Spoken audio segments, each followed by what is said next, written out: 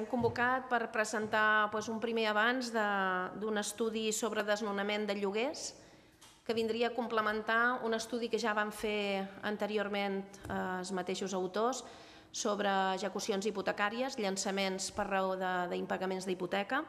I, bueno, i sa gràcia per jo d'aquests estudis que fan en Nofre Rullant i na Sònia Vives des del Departament de Geografia de, de Sauip és que eh, lliguen aquests processos aparentment eh, individuals d'impossibilitat de, de pagament o d'hipoteca o de lloguer, ho lliguen amb processos més de tipus macro, com, com seria, per exemple, la gentrificació eh, urbana que, bueno, que teníem interès en saber si s'estava donant a Menorca. Ells eh, han recollit dades, han aplicat els seus coneixements i efectivament sembla que, que Menorca ja començaria a tenir un, una primera una primera entrada d'aquest procés de gentrificació per raó de, de vivenda d'habitatge turístic.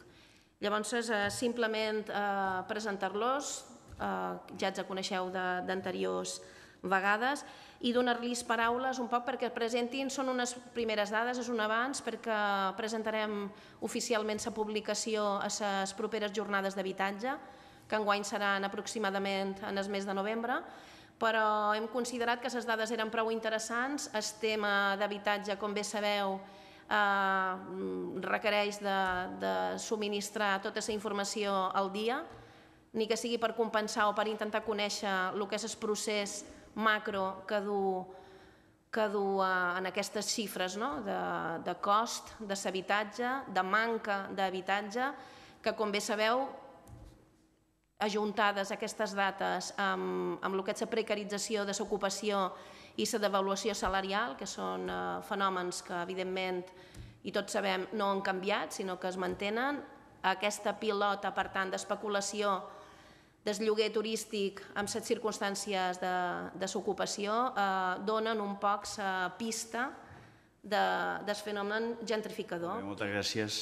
Eh, bé, aquest, aquest estudi, com ha, com ha esmentat la consellera, és la continuació d'un que ja havíem fet abans, que se centrava en, en altres tipus de, de desnonaments que, que se poden donar. Segur que se poden donar perquè tu no puguis pagar en el banc la hipoteca que has fet per comprar una casa o se pot donar perquè eh, te pugin el preu i no puguis assolir eh, el nou el nou marge de, de, de preu segons la teva renda. Això que en dèiem el desnonament de llogaters, eh? o les eh, execucions de, de llogaters, se diu a vegades també a dins, a dins la literatura acadèmica. Doncs aquesta segona, aquesta segona, aquest segon aspecte sembla ser que és un dels que en els darrers anys, no només a Menorca, és un fenomen de caràcter global, molt més general, està assolint unes, unes xifres i unes dimensions que no s'havia donat a l'anterior. Eh? L'anterior boom de, de la bimbolla era sobretot de gent que se comprava una casa i no podia pagar i el banc li executava la hipoteca, en aquesta sembla que això també hi és, perquè això també hi, també hi és, però sobretot la novetat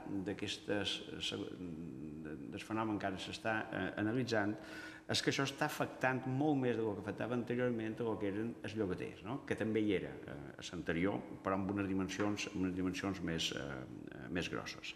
Bueno, sabeu que els darrers anys s'ha donat com una espècie de, de repunt econòmic, unes, unes xifres que hi ha alguns indicadors que així, així ho indiquen, els famosos brotes verdes que, que, que surt moltes vegades per, per la premsa, que això depèn de l'àmbit eh, en el que estiguem, eh, en estiguem situats, doncs ha generat el creixement d'un sector econòmic específic. En el cas específic de les Illes Balears en general és el turisme, perquè és la nostra base econòmica en diferents modalitats.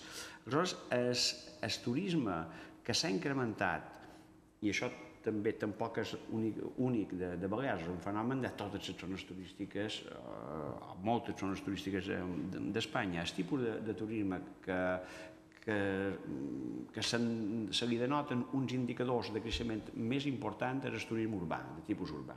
El cas de Barcelona segurament és el més conegut, perquè sempre surt la premsa que, que per trobar un, un no turista per la Rambla de Barcelona segur que se fa difícil ja avui en dia, no?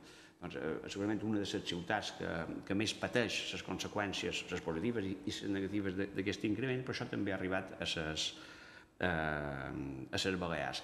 I això quan ha arribat a les Balears, aquest increment, aquest tipus de turisme nou, eh, complementari a l'anterior, en termes percentuals està més important a Menorca que a la resta d'illes.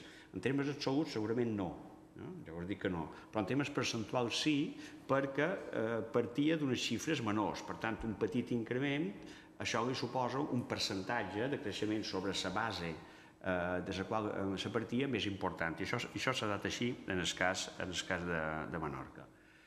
A dins Menorca, aquest fenomen també, seguint ja un poc la pauta de la localització de la geografia turística clàssica, de si ja està més important a Ciutadella que no a Mó, de, sa, de dos grans pols de, de, de la ciutat. De fet, les xifres de Ciutadella, tant amb un indicador com els índex de pressió humana que calcula l'Oxfam eh, i, bueno, hi, ha, hi, ha altres, hi ha altres estadístiques, com, per exemple, en, en cases que se dediquen, que se comercialitzen en plataformes com Airbnb, duplica Ciutadella a Maó, eh? es dobla l'índex de, de pressió humana en punta, en el cas de Ciutadella, pot arribar a 60.000, a Mo eh, més o menys a la, a la meitat, i eh, les cases que se dediquen a, a, a l'habitatge eh, va ser la plataforma Airbnb, n'hi ha d'altres, eh, però només la plataforma eh, Airbnb són 383 en el cas de Ciutadella i 192 en el cas de Moa, vull dir que és, és més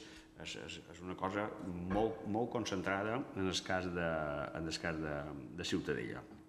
Tot plegat, aquest, aquesta revalorització, això ha generat una revalorització de preus, ha eh, generat una entrada d'aquesta nova eh, oferta i com a conseqüència d'això, el que dèiem abans, com que pugen els preus, eh, hi ha segons quines rendes que no poden assolir segons quines noves condicions del contracte que se plantegen, que les podrien assolir abans, però que com que ara hi ha molta més demanda, doncs ara en comptes de 10 són 12, doncs són 12, jo ja no arrib i, i aquí m'he de desplaçar. Quan se generen desplaçaments no desitjats és quan parlem de gentrificació.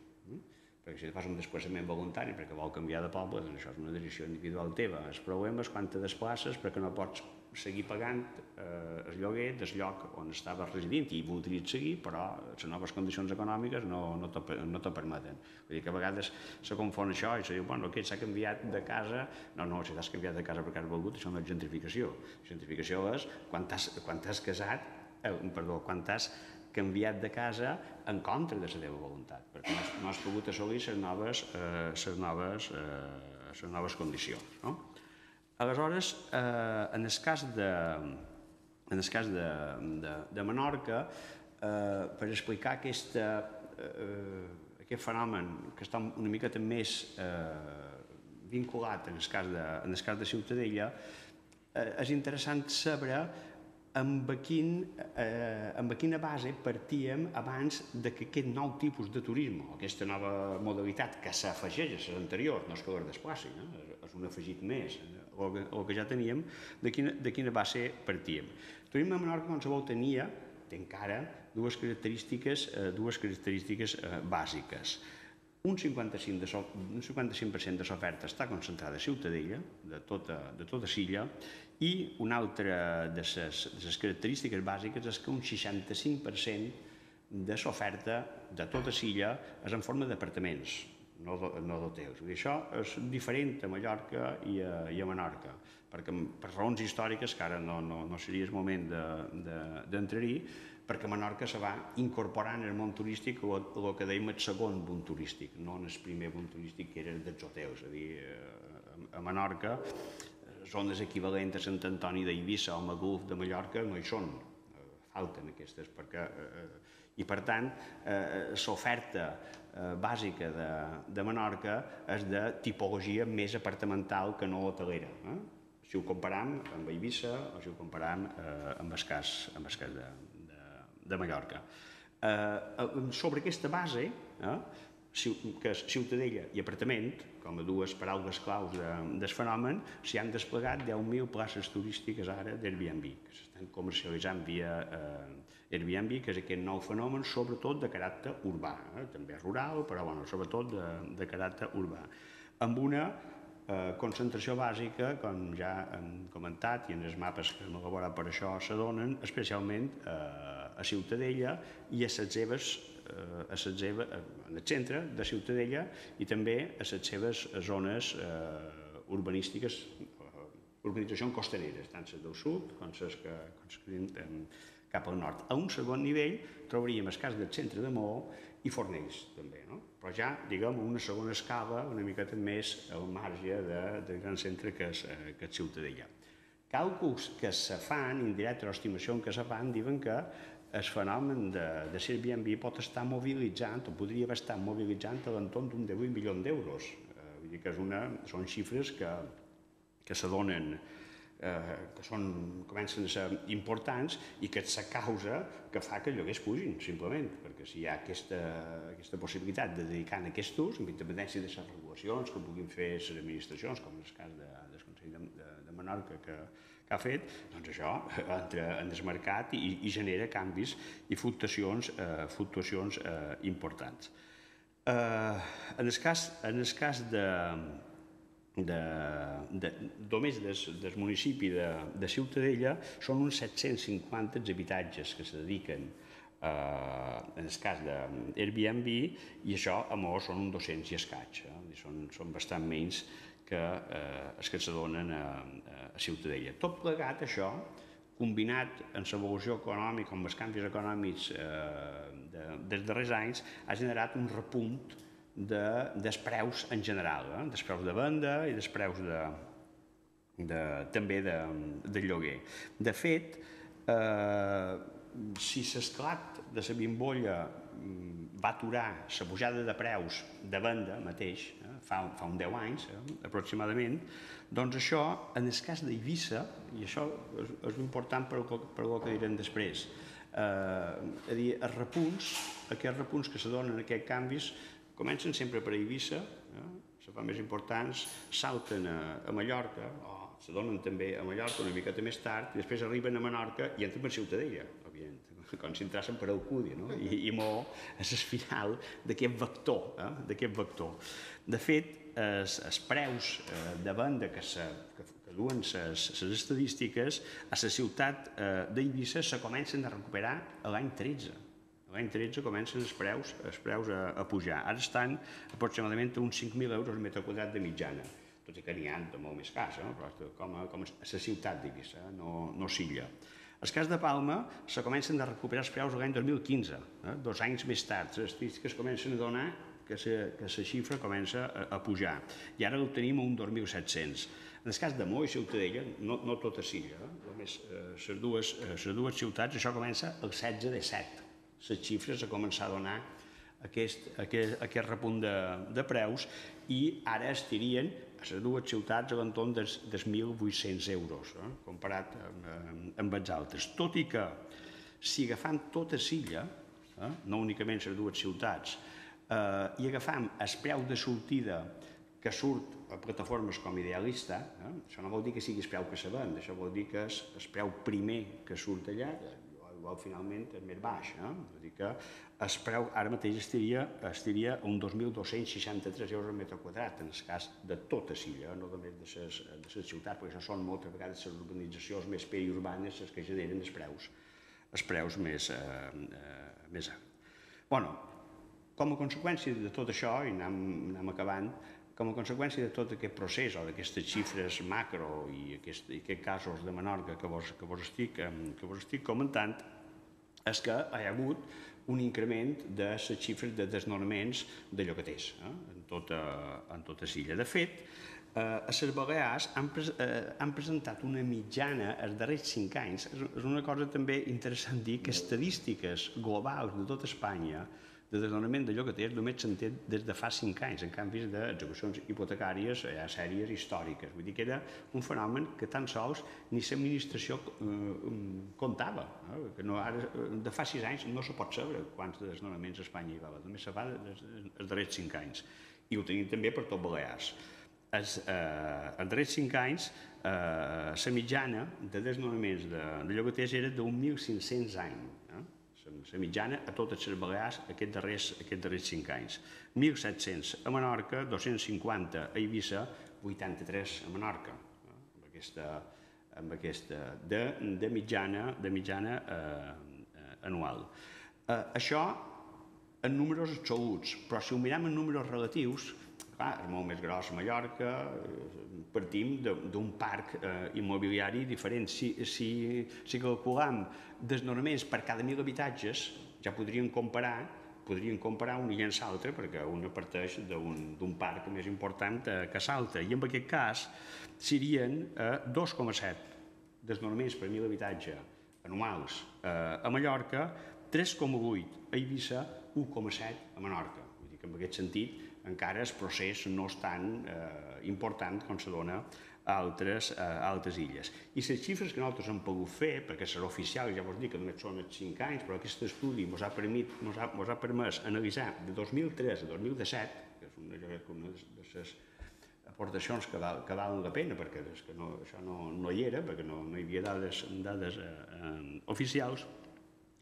eh, hi ha hagut eh, a Silla, en, en aquesta època, 1.086 desnonaments de, de, de llogaters, 399 eh, a Ciutadella i 400, eh, 426 a Maó, eh, en, tota, en tota la sèrie, perquè hi va haver un moment en què a partir de 2012 que eh, eh, Ciutadella va superar a Maó, però històricament havia, havia estat Maó qui anava davant. Eh? A partir de 2012 va ser, eh, hi va haver eh, escreuament de, de les dues xifres.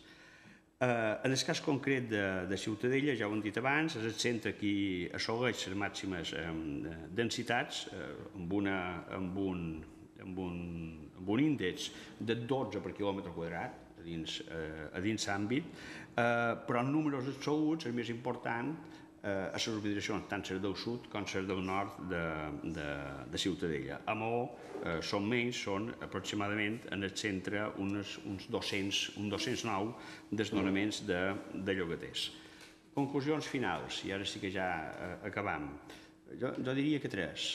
Una, la gentrificació, entès en aquest sentit que vos dic, de desplaçament no voluntari, és a dir, en l'indicador desnonament com a mm, més important, no és homogènia a tota Silla.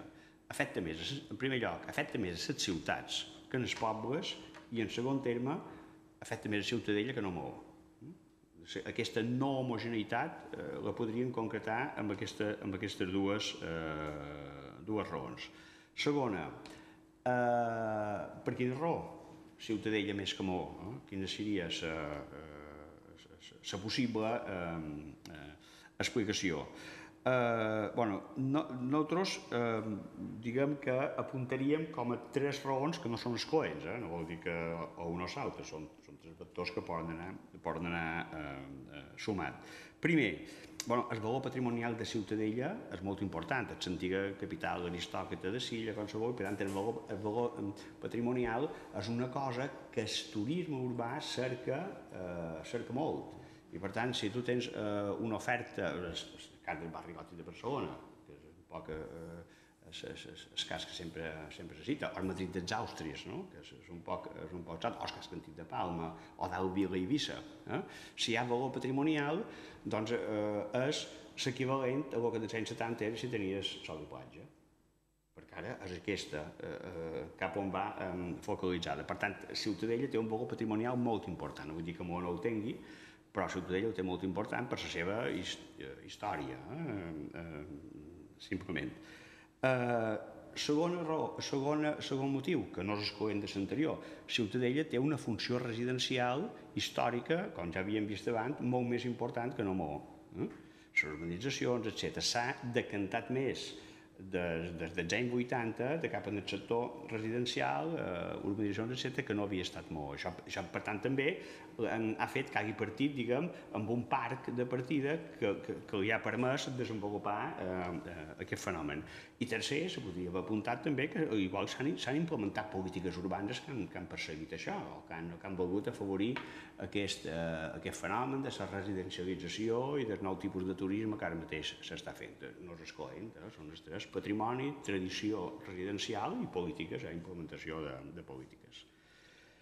Tercera conclusió, el que ja havia avançat eh, abans. Eh, la gentrificació és un fet, no només a totes, no només a les Balears, és un, és un fenomen global. Eh, a Nova York és històric, a Londres és, és conegudíssim, dir, passa per tot arreu, a les Balears també, i és un fenomen que si haguéssim de dibuixar gràficament, jo diria que és un fenomen, és un vector de direcció sud-oest-nord-est. No? És més important a Eivissa, molt més important a Eivissa, les xifres són molt més escandaloses que aquestes que ja us he dat de, de, de, de, de Menorca. A Mallorca a, Mallorca eh, el problema és que, o l'avantatge és que a Mallorca hi ha Eivissa i hi ha Menorques, per entendre-nos, perquè Silla és molt, és molt més gran. Ara, la mitjana, l'estadística global de Silla, que en el seu interior trobarien zones tan gentrificades com, com Eivissa i tan poc gentrificades com Menorca, però la mitjana és inferior en el cas d'Eivissa. I en el cas de Menorca, eh, les xifres globals també són les més petites. Eh? Tot i que, en el cas de Ciutadella, com he dit abans, que és que està més a prop a Mallorca, és on les xifres són més importants. Per tant, aquest vector sud-oest-nord-est jo crec que marca la direcció d'aquest fenomen que és global i que està entrant a les Illes Balears també. Només volia afegir una altra conclusió que és una mica més general i que corroboraria una hipòtesi que m'ha anat eh, proposant durant aquests anys que hem estat estudiant eh, aquests processos de despossessió d'habitatge. No? Que és que tota aquesta onada de, de desnonaments, de llogaters que, que estan veient que hi ha a Menorca, no són una causa de la crisi, com de vegades s'anuncia, no? sinó que formen part d'una estratègia que ara en concret és eh, d'acumulació de, de rendes per part de, del turisme urbà no? i, que, i que ara està eh, creant o inflant aquesta bombolla dels lloguers turístics. No? Per tant, el que podem dir és que eh, sense desnonaments, sense aquesta onada de desnonaments, no hi podria haver aquest nivell d'intensificació del turisme urbà que hi ha a Ciutadella, en, específicament, no? també Moó, però específicament eh, a Ciutadella, no? que hem vist que a través de, de Airbnb, per exemple, s'està mobilitzant un capital de 18 milions d'euros. No? Aquesta mobilització de capital sense els desnonaments no seria possible. Per què? Perquè els desnonaments permeten eh, tres, tres elements. No? El primer seria el canvi d'usos del sol, no? de, de residencial a turístic, això és un element molt important, la revalorització i per tant les expectatives de, de rendes a, a, a través d'aquesta estratègia no? de, de, de l'habitatge de lloguer turístic i després també perquè els desnonaments permeten eh, posar més guapa la ciutat, no? eh, que de cada vegada tingui un, un, un envelliment més, més elevat. Una reflexió, i és que clar, ells parteixen d'estudis a, a peu de terra, dels jutjats, dels dos partits judicials de Menorca. Sí, sí, no dit. És molt important que ho tinguem en compte, també per dir el que no inclou l'estudi, que és el que s'anomena desnonament invisible. Mm -hmm. És a dir, aquest estudi parteix de dades objectives dels jutjats de Menorca, és, és el sistema que ells tenen de, de, de terrar amb, amb la problemàtica, però el que no sabem, tot i que crec que ho podem intuir, un poc per sa conseqüència, en la conseqüència que explica na Sònia, jo crec que podem, podem anar cap enrere no? i intuir un percentatge que no podem eh, quantificar, però que deu ser molt important, de desnonaments invisibles, que són tots aquells que no arriben a jutjats, o perquè ja no hi ha hagut possibilitat de pagar i han entregat les claus de mutu acord propietari i llogaters, això passa sovint, i, i després aquell tipus de, de procediment que fins i tot bueno, pot arribar a jutjar però no arriba ni a notificar-se perquè també s'aclareix per no incrementar despeses, etc etc. Mm. I, I bé, dir també que, que s'estudi, ho, ho dic perquè bueno, crec que és interessant saber que és complex arribar a aquestes dades, perquè a diferència de les execucions hipotecàries, que, que on sabeu se publiquen en el taulell de dictes dels jutjats, els desnonaments per llogater, de lloguer, si la part contrària no està en rebeldia processal, no se publiquen en els edictes, el qual requereix una feina molt més eh, minuciosa, diria jo, de formiga, uh mhm. -huh. val? Per, per manca d'informació directa. Val? I bueno, vull posar en relleu que, bueno, que ara sembla bueno, que, que apareix aquest estudi, sembla molt acadèmic, però no vull llevar valor a la feina artesanal que, que han de fer ells per arribar a, a tenir enllestits aquests estudis. No sé si voleu compartir. Jo me preocupa molt el desdesnonament invisible perquè és, una, és un procés eh, que crec que és massiu i que no podem quantificar.